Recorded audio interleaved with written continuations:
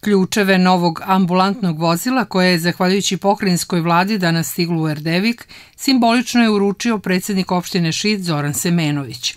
U ime zdravstvene ambulante u Erdeviku koja pripada Domu zdravlja Šid, ključeve je primila viša medicinska sestra Suzana Brzak.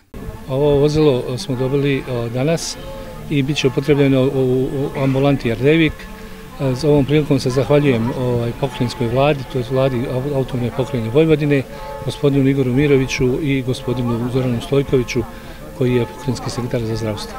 Ovo vozilo će u mnogome, naše staro vozilo dotrajalo je već bilo na izdisaju.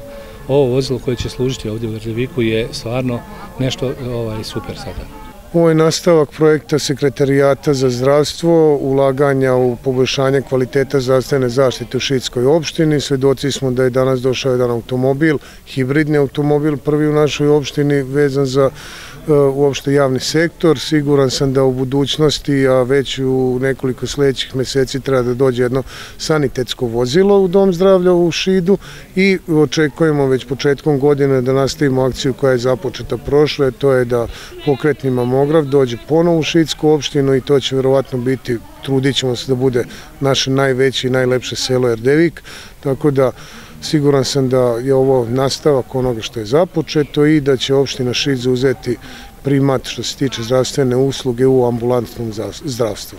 Novo vozilo omogućit će svakako brži dolazak do pacijenata i veću bezbednost i sigurnost medicinskih radnika koji ga budu koristili za obavljanje svog posla.